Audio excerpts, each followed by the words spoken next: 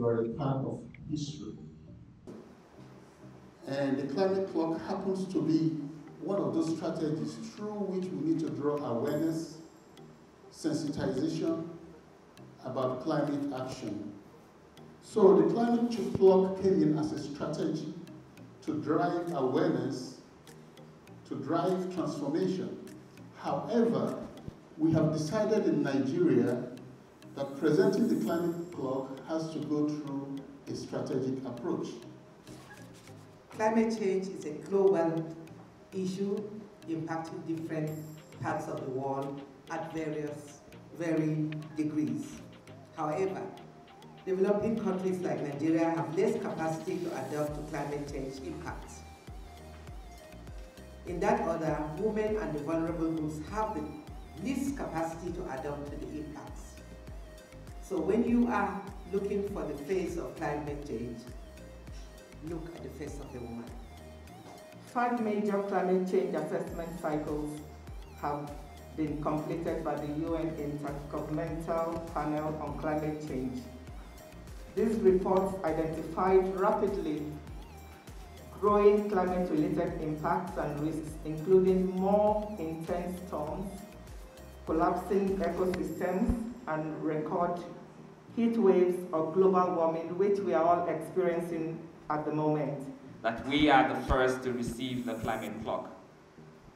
We want to make sure that every youth takes responsibility in becoming sustainable in the way we produce, in the way we industrialize, and in the way we take climate action. Today, I represent the face of the youth to say thank you very much for this historic event, Ambassador Ringo and Dr. Paul Abolo, our own Iron Man, for making this happen. Thank you very much. Africa will go where Nigeria will go is to not just continue to be the recipient of the impact, but be the nucleus of the change, the nucleus of the success of the green movement and an example to even to the industrialized nations of the world how great of a country and a continent that this is. It is now time for Africa to not just be the importer of help from the industrialized nations of the world. This is Africa's opportunity to be the exporter of help to the nations of the world. There's no reason why the new technologies that are in place right now to help curb CO2 to the atmosphere cannot be researched and developed and manufactured on African soil, owned by Africans.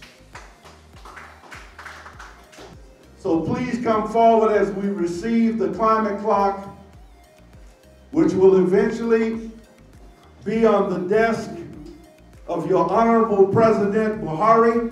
Today, we are again gathered to receive this, it's a global clock on behalf of our country and on behalf of the continent. And it's not only symbolic, but I know that um, it is a turning point for Africa.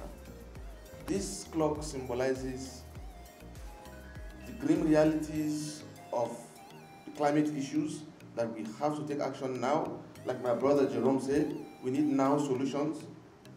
And it also signifies hope that something can be done when we take the right action.